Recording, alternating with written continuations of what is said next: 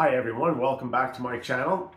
Uh, I just recently turned 58 years old and started dual sport riding last year around July because every time I would have an accident on the trail, single track or dual track in the forest, I ended up upgrading my equipment to protect my body better since I'm an older person that uh, doesn't flex anymore. So here's my uh, advice or my reviews on my personal choices of equipment that I've used in the process of outfitting myself for pure safety reasons and to keep my bones in one piece instead of snapping. We'll get into some little details and I'll explain to you why I've made my particular choices on certain gear. Thanks for uh, staying tuned.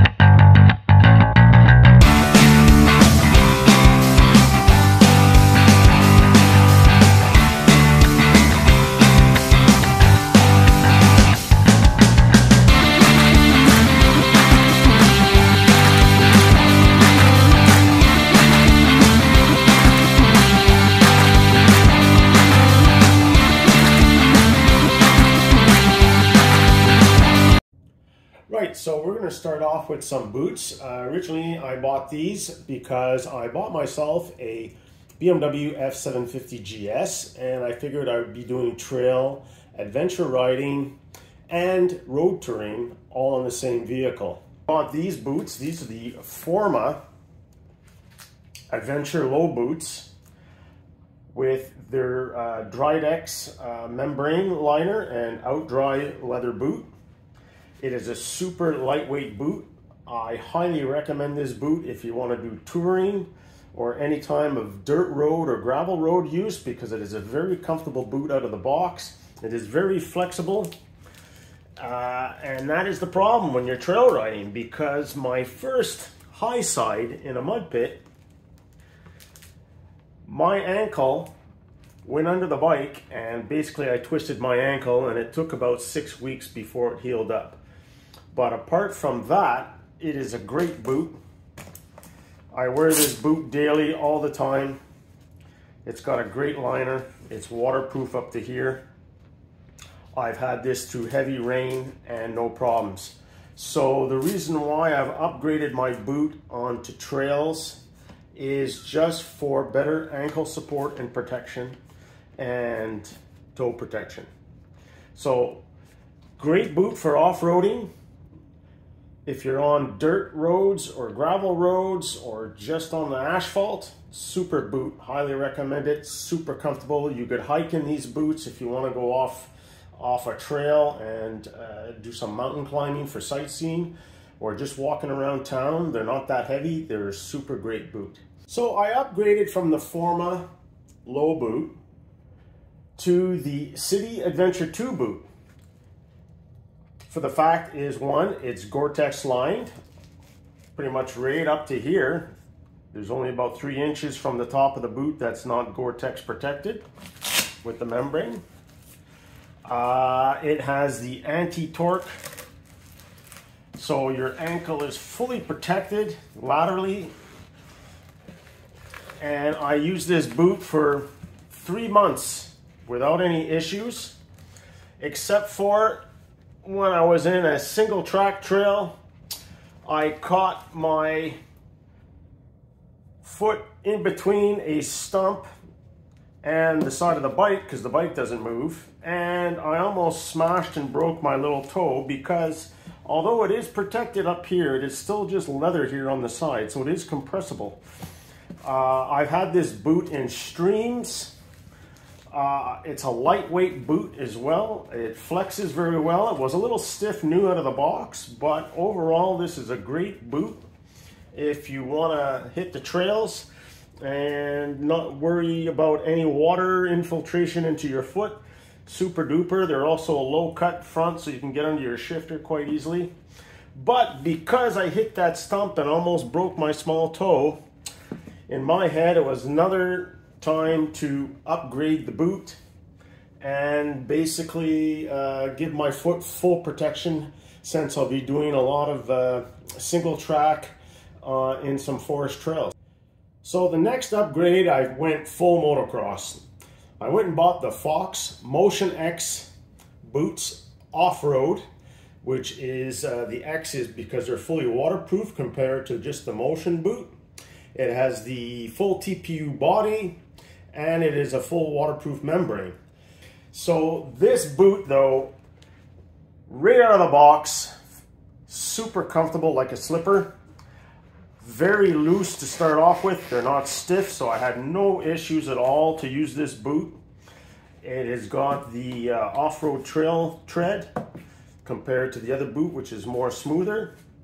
And uh, it's got the full Gore-Tex liner, or not Gore-Tex, it's got their own uh, waterproof membrane liner, which basically goes up to here.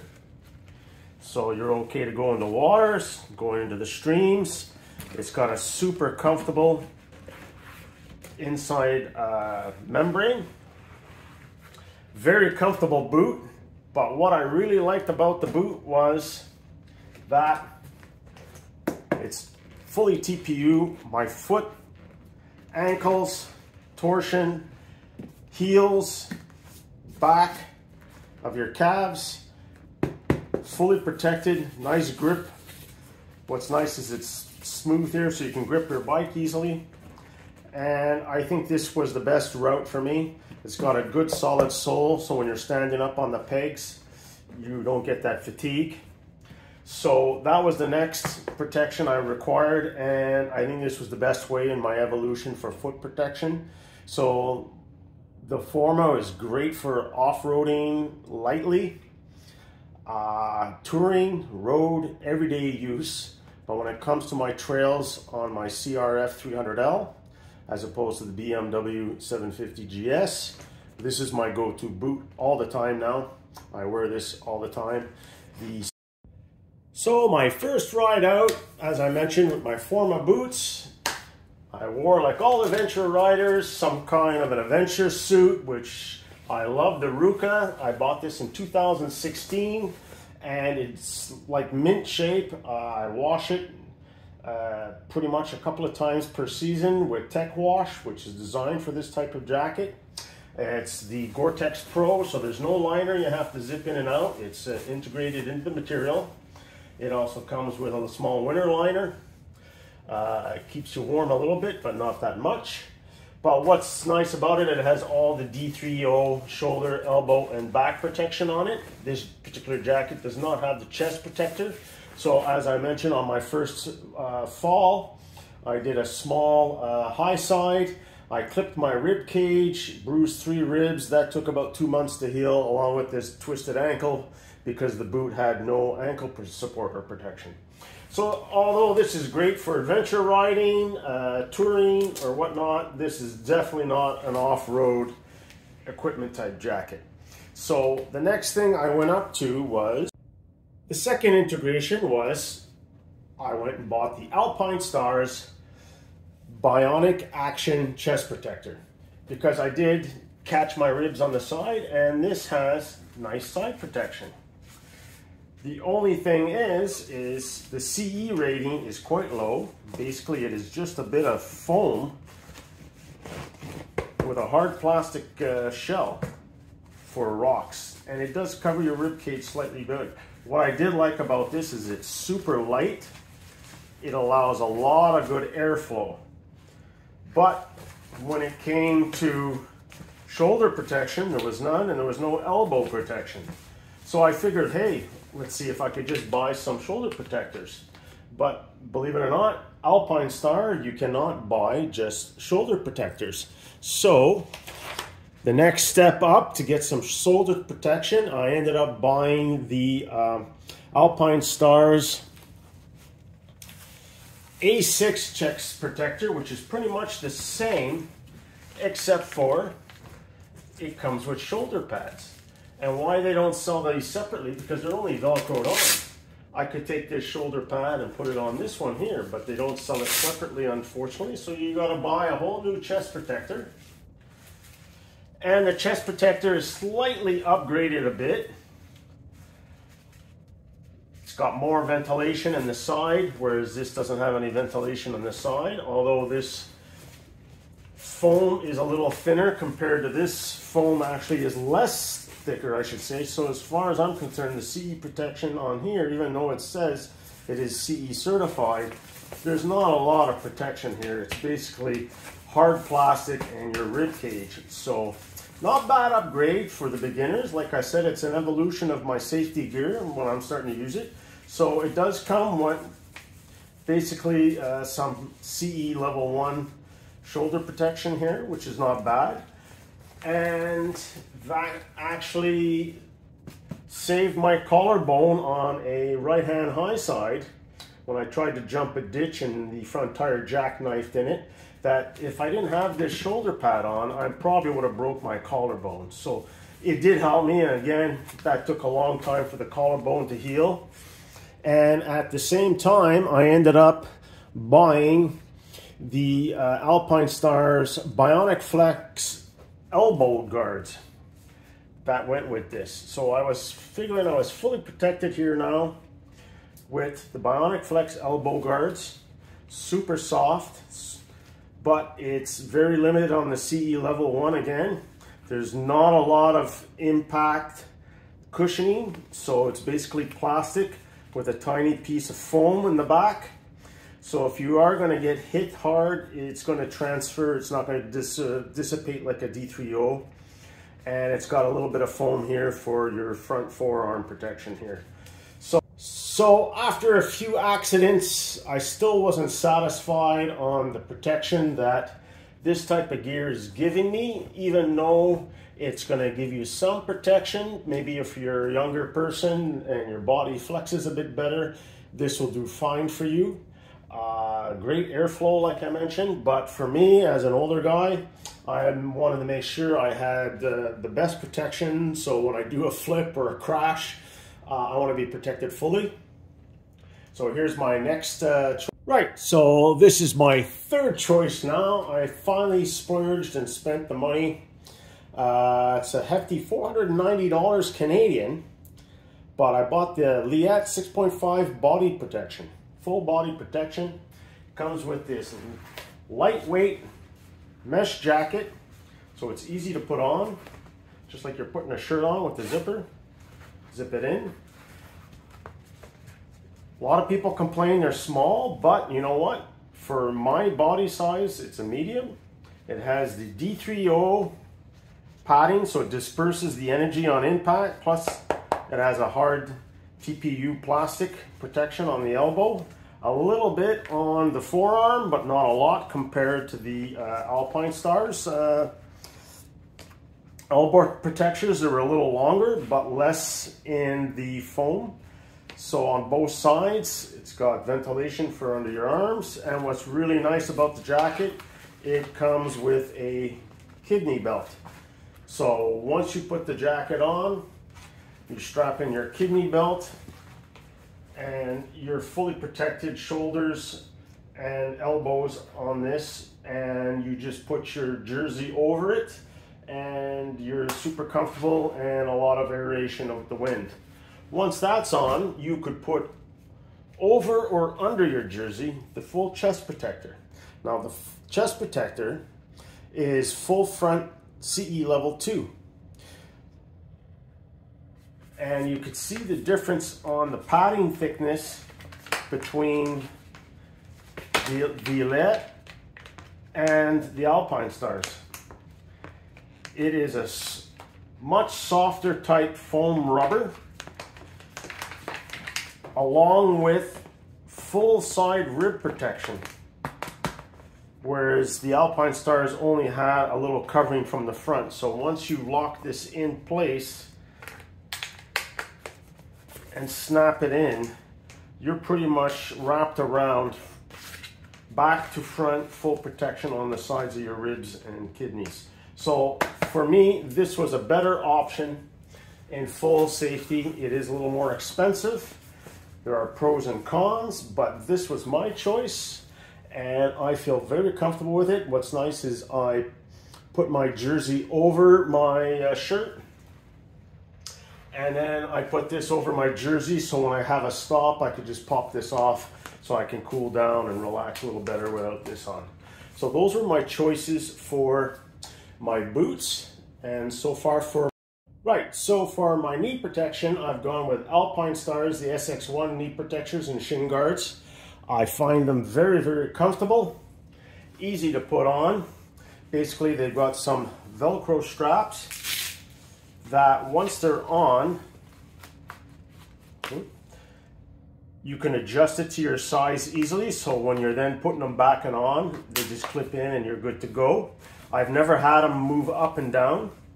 They're great articulation. They cause, stop for hyperextension as well. So that's great for your knee to stop for hyperextension. That's one thing I look for. So it's always good to look for a good knee pad like this.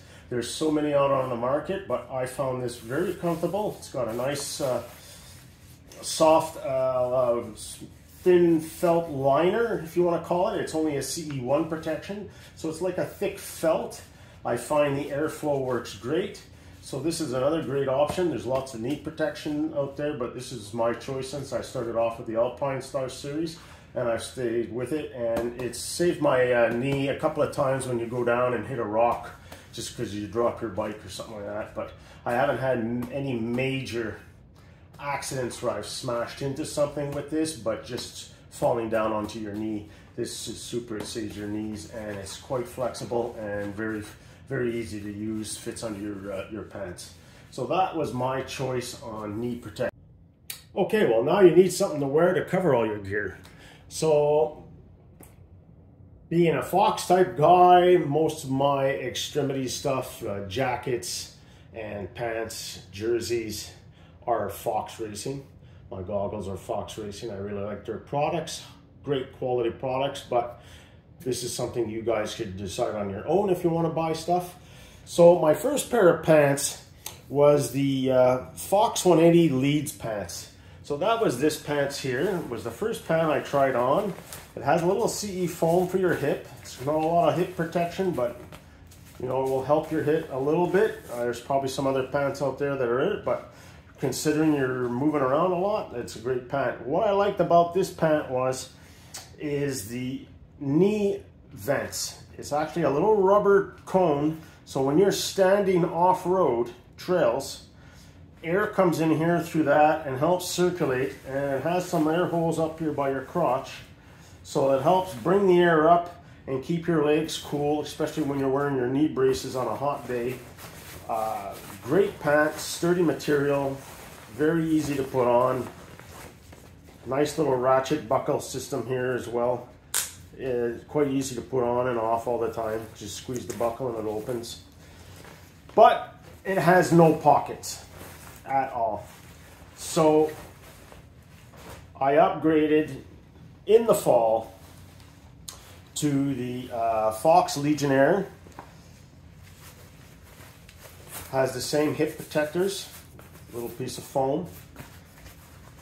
But it has zip down mesh openings to allow more airflow because the back is, is mesh. It's not a full material. There's a mesh material here in the back to allow air to come through. And then with this open and you're riding, all the air passes through your leg and out the back mesh. So you're well aerated as well. But what I like is there's two side pockets on either side that you could put your phone or your wallet in when you're bouncing around or anything else you want to put in there. So that's why I ended up buying these uh, so I could uh, carry things in my pocket instead of having uh, to go into my tail bag all the time. It's very convenient at a gas station and stuff like that. Overall pants great.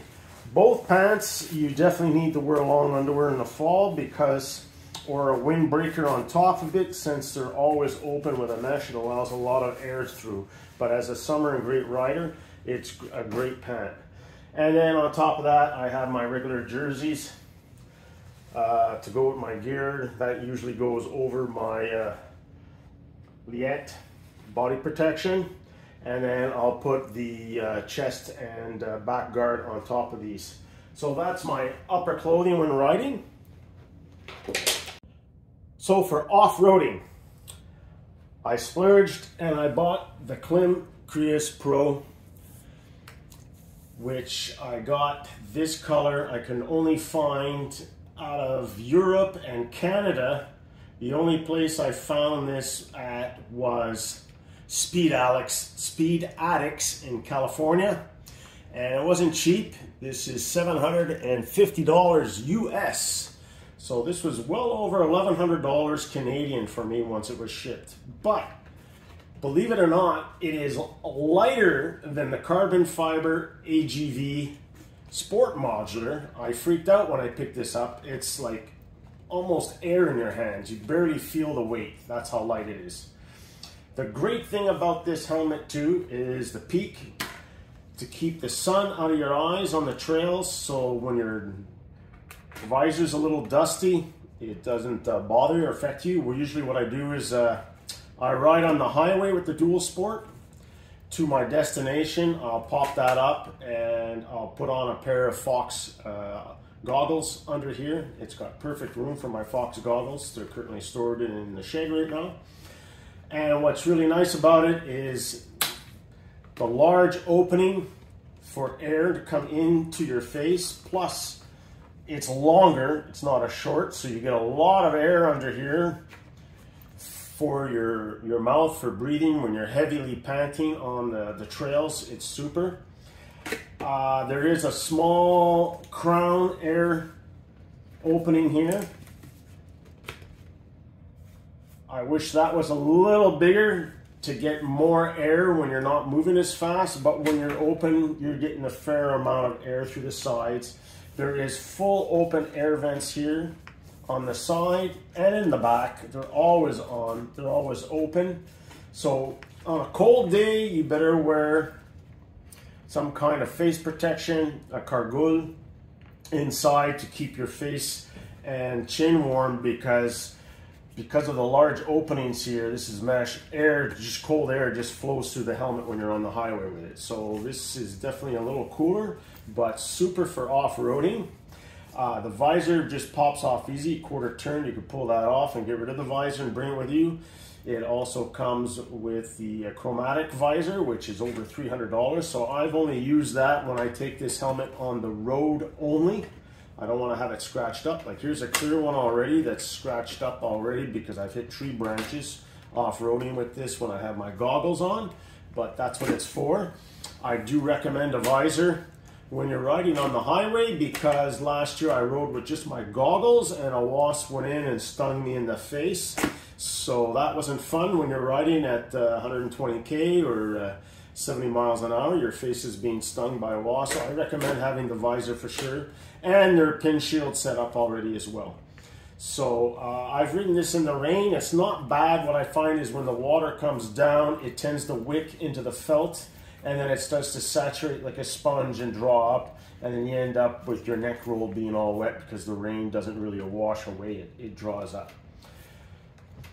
So that is my preferences in safety gear, my evolution in safety gear, and uh, I hope this helps somebody make decisions for themselves. Thanks again for watching and stay tuned for some more videos.